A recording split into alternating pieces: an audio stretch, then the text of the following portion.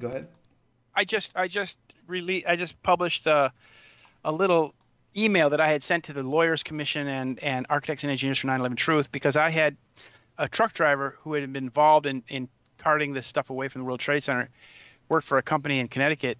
Uh, he he told me about the final load, the last load that was taken away from the World Trade Center um, in July of 2002.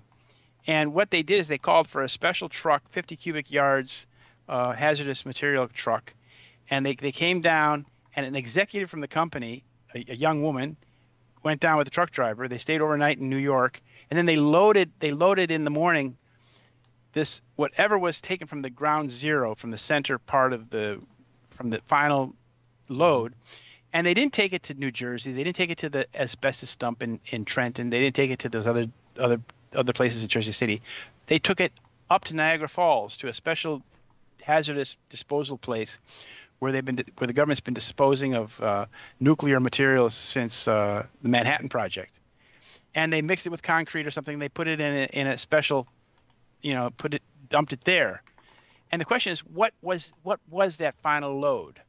And I tried and tried and tried to get in contact with this woman. She would never answer the phone, never come near the phone, even though she has a job where she's, you know, should be accessible. Mm-hmm. And and so what was it in this final load? Was it was it was it the hardened molten steel, molten iron that was at the base of the World Trade Center, or was it something else?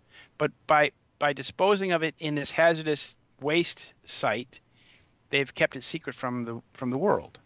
So I, you know, I sent this material off to um, Richard Gage and and the and the lawyers because I hope you know that that there can be some discovery. There has to be some discovery, but you see that's what we have been denied by not having any trials, by not bringing the mastermind from Cuba. You know, we, we have the mastermind of 9/11 supposedly mm-hmm. sitting in Guantanamo, but instead of bringing him to the United States, putting him on trial, they're going to put him in a in a they're going to have a military tribunal down there, and on ja- January 11th, 2021, they'll put him on trial.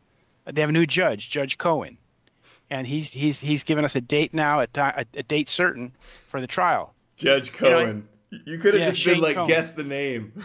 yeah.